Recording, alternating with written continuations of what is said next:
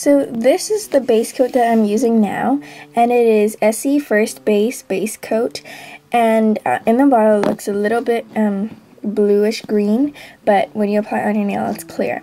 So why I like this base coat is because it protects my nails from yellowing seriously. Like I put on nail polish for every day of the week with this base coat and when I took it off, my nails were like white. Like my tips of my nails were white. So that's really good and I really like this.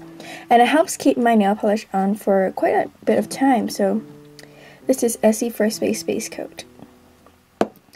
Um, now for the top coat, I use Essie Good to Go. And I really like this top coat because number one, it dries really fast. Number two, it doesn't have um, a really foul sm smell. And number three, it doesn't have a, warning that says that it might cause birth defects like seche vite. And it just dries super fast and adds a really super glossy finish to it. So this is really great.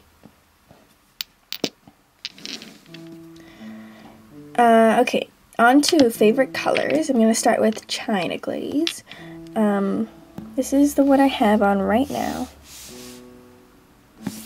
And this is called Street Chick by China Glaze. Um, please don't mind the scratched of letters because my nail file scratched it off. But anyways, it's a really pretty brown, light brown, chocolatey brown color like this. It's a cream finish, so it's really glossy, even without a top coat.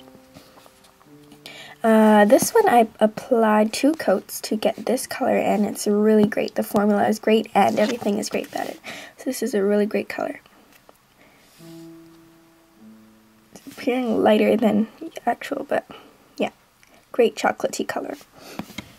Next would be China Glazes for Audrey.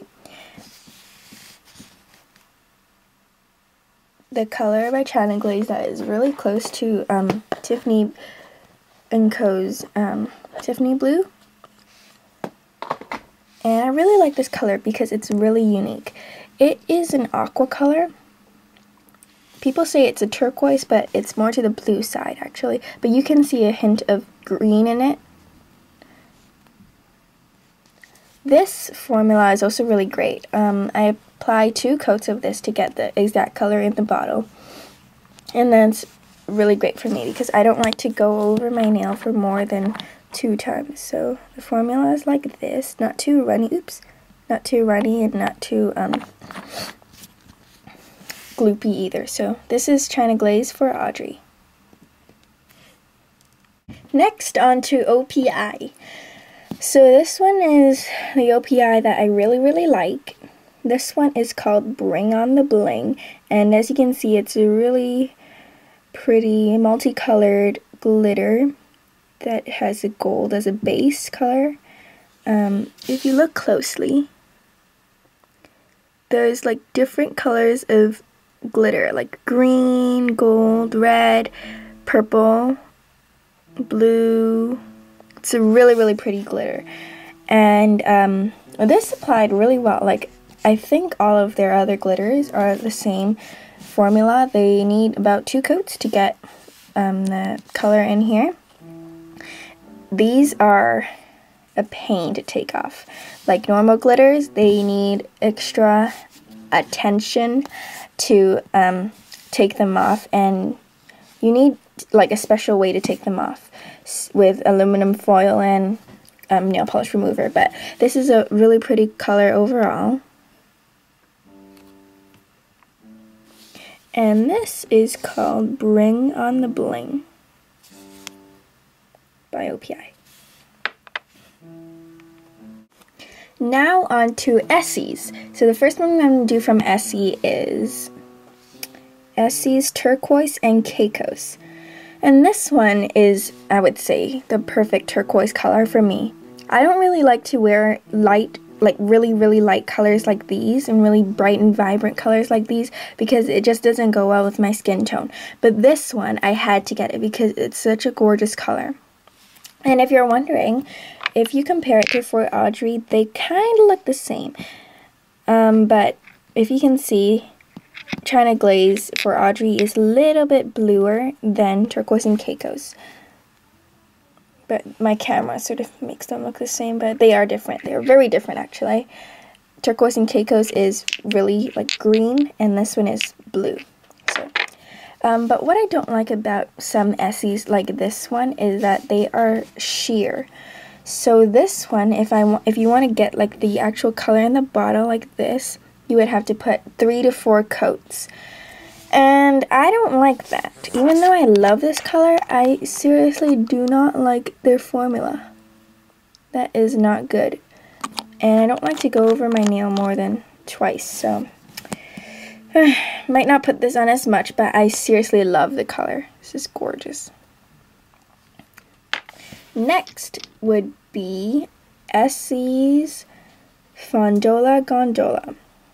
It's a really pretty dusty rose pink. It's like there's a hint of tint of purple and a tint of gray in there. I had to get this color. This is so unique. This is the most unique pink color ever. This is the prettiest dusty pink color ever and I just simply had to get this color. This is a great dusty pink color. It looks elegant, looks nice, great for any occasion. So this is Fondola Gondola. Okay, next one is Essie Carousel Coral. And as the name of the polish hints, it is a coral color, a pink coral color. On camera, it looks a little um, dustier, but it is very different than the Fondola Gondola. This one is much more vibrant and um, bright than this one. So this one is just your average pink coral color, a little bit peachy pink, and this one tints a little bit to the orange side. So I love about I love that thing about it. Um, so I had to get it because I've been trying to find a coral color forever and this is the perfect coral shade that I, I wanted to find so this one is called Carousel Coral. The last Essie that I'm going to talk about is this one. And this one is called Ladylike. This one is a really, I would describe it as a muted sort of purplish gray color. It is elegant. You can, it's definitely appropriate for work and school. In some lights, it even looks nude. But if you're wondering, this also does not look like um, the Fondola Gondola because now we put it side by side. Fondola Gondola looks a lot pinkish and purplish than this one, and this one just looks plain gray. But in real life, the camera is not doing these colors justice. In real life, this color is actually a grayish purple. So this is appropriate for work and school if you're looking for something elegant and not too vibrant and bright. So this is Ladylike by Essie. The last color in my favorites color um, video is not probably not one of the most popular brands, but it's still out there, and this is called CanMake colorful nails. I think it's a Japan brand.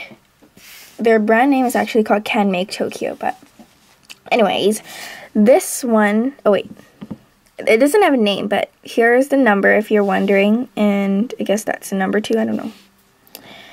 And this color is a really, really pretty lilac color. I know Essie has a really pretty lilac color too called Lilacism, but I was hesitant to get it because I already had this color and I like this color. So, um, yeah, and it, this formula applies greatly too. So it's like two coats and you get the exact color here. It's great. Um, it's a really, really pretty light lilac color.